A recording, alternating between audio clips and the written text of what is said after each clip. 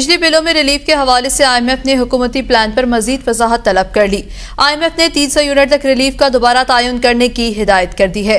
वजारत खजाना के जराये के मुताबिक तीन माह के लिए बिजली बिल्स पर रिलीफ देने से पंद्रह अरब रुपए से ज़्यादा अखराज होंगे।